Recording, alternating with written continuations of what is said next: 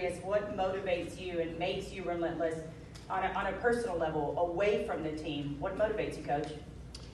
Well, I've always said before that I really hate to lose. Uh, and I think I hate losing more than I like winning.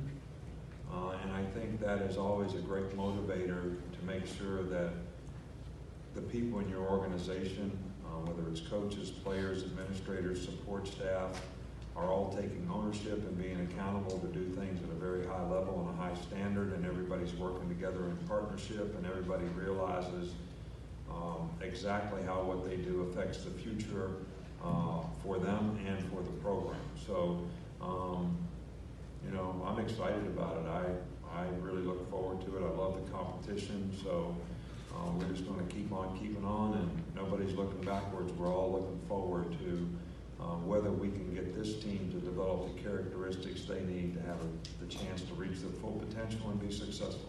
Coach, my, my second question, I have one more, is um, I spoke to Kevin Elko recently, and sports psychologist works with your program, and he recounted a story where he walked in, you were looking at a recruiting map, and then he took some time away, and he came back, and you were looking at the same recruiting map, and he said, your mind is set up in systems that he's never seen anything like it.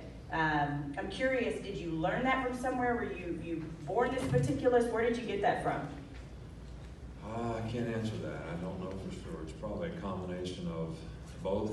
Um, you know, I grew up, my dad was um, a great person. Uh, he had a very high standard for expectations in terms of what you did. Uh, there was always a reckoning for what you did. Uh, so there was always accountability. Think that when you know you're living in a situation like that, you're always paying attention to detail. Uh, I think I've had the opportunity to work with several coaches, whether Bill Belichick, George Perles, uh, some very successful guys along the way um, that were very meticulous, um, paid great attention to detail, had tremendous organization in terms of what they did, uh, created a lot of accountability in their organization, and that's why they were successful. And um, so the combination of those things probably got me where I am from a systematic approach and accountability approach. Over here on the second row on the right side.